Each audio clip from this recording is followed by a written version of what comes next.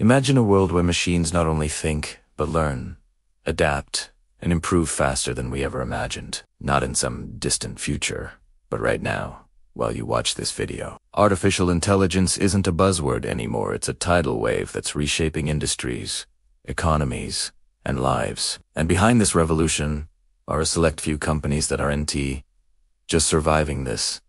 Shift A redriving it. These are the AI giants with the potential to dominate the future. And if you're watching this, chances are you're looking for more than just information. You want insight. You want foresight. You want to get ahead before the rest of the world catches on? So stay with me because these aren't just stock picks. They're glimpses into what the future will look like. Let's not waste time. Think about this. In every major technological leap in history, there were key players that rode the wave to unimaginable success. Think of Microsoft during the PC boom, Apple with the smartphone revolution, Amazon with e Today, we're standing at the edge of another seismic shift and, this time, it's AI. Now ask yourself, do you want to look back in 10 years wishing you'd acted? Or do you want to position yourself now, when things are just heating up? Let's start with the most obvious yet most unstoppable force in the AI space. You probably guessed it, NVIDIA. This company has evolved from a graphics card maker for gamers into the engine room of the AI revolution. Every major AI model, from image generators to chatbots, is trained on NVIDIA G, and it's not just about the hardware anymore. NVIDIA has created a software ecosystem that developers rely on to build the future. Their CUDA platform is the standard. Their dominance in the data center space is unmatched. The biggest tech companies, Microsoft, Google, Amazon, they're all buying NVIDIA chips by the truckload. Think about that. AI can't happen without NVIDIA's infrastructure. And as AI adoption grows, NVIDIA's chips are becoming the gold standard. This company isn't just selling tools, it's minting the currency of the AI age. But what makes NVIDIA truly special is how it stays ahead. Every year, they release chips that double the performance of the last generation. And it's not marketing fluff, it's real. Measurable breakthroughs in computing power. If you're wondering whether it's too late to invest in NVIDIA, the better question is how big could they still become if AI reaches even half of its potential? Now let us talk about a name you know well, but you may not realize how deeply embedded they are in the AI game. Microsoft. This isn't the Microsoft from the early 2000s. Under Satya Nadella, they've transformed into an AI juggernaut. Their strategic partnership with OpenAI, the creators of ChatGPT isn't just a footnote. It's a power move. Microsoft isn't just watching AI evolve, they're steering it. They've embedded AI into their entire software suite. Excel can now analyze your data and give you trends in seconds. Word can summarize your writing. Outlook can draft emails.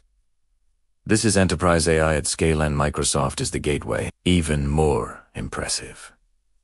Their cloud platform, Azure, is now one of the leading platforms where companies are training and deploying their AI models. That means they're getting a slice of every AI project every startup, every innovation. AI is no longer a feature, it's a foundational layer in Microsoft's business model. And because enterprises already trust Microsoft, they're perfectly positioned to deliver AI to the world's biggest companies. Next, we turn to Alphabet, Google's parent company. They've been in the AI game longer than most people even knew what AI was. DeepMind, the AI lab they acquired in 2014, made headlines when its AI beat the world's best Go player. But what really matters today is how Google is putting AI into the hands of billions. Every time you search, every time you speak to Google Assistant, every time you use Google Photos or translate a sign on your travels, AI is working behind the scenes. And now they're rebuilding even more powerful language models that will redefine how we interact with the internet. But here's what makes Alphabet a standout.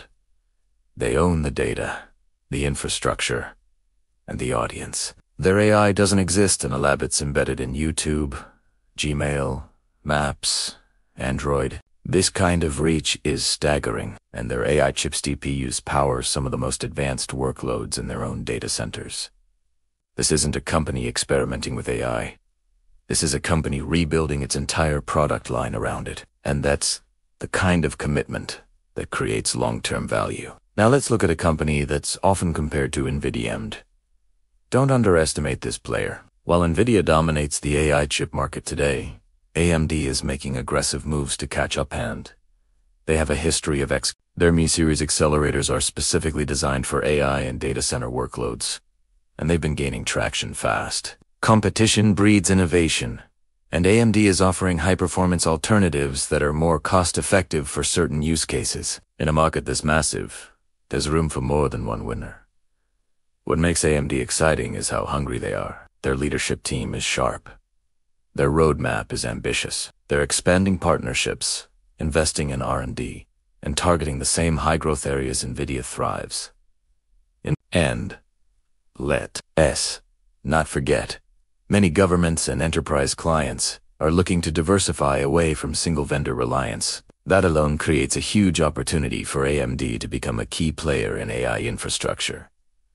And finally, a dark horse. You might not hear this name as often when people talk about AI, but behind the scenes, they're essential. Broadcom builds the custom chips and networking hardware that data centers rely on. As AI models get bigger and require more compute power, the need for ultra-fast data movement and high-efficiency interconnects becomes critical.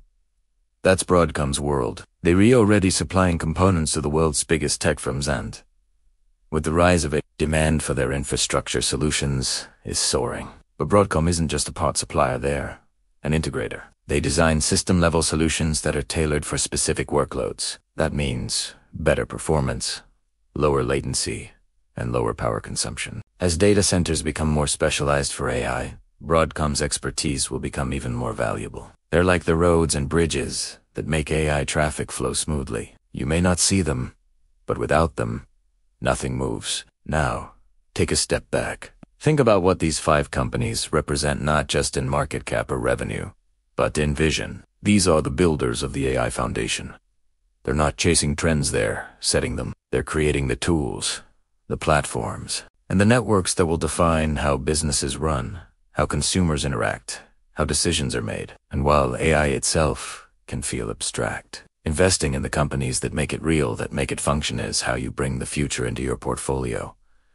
These aren't penny stocks or speculative moon. These are companies with track records, revenues, infrastructure, and vision. They're already delivering and they're just getting started. But here's the truth. With opportunity comes noise. AI is hyped. Hype. Every company wants to slap AI powered onto their product. That's why your edge as an investor is discernment. You need to look past the marketing and focus on the fundamentals. Who has the infrastructure? Who has the talent? Who has the partnerships? Who can scale? Who can defend their moat when competition rises? Because what we're seeing today is just phase one. The AI story is still being written. Regulation is coming. New models will emerge. Hardware will evolve. Energy costs will play a bigger role. And through it all, only a few will stand tall. So, here's my ask. Don't just be a spectator. Engage. Educate yourself. Go read their earnings reports. Watch how these companies are deploying capital. See where they're hiring. That's where the story unfolds. And if you felt even a flicker of insight during this video, I want you to take that and act on it. Not necessarily by buying, but by learning, by paying attention, because that's how investors get ahead not by reacting, but by preparing.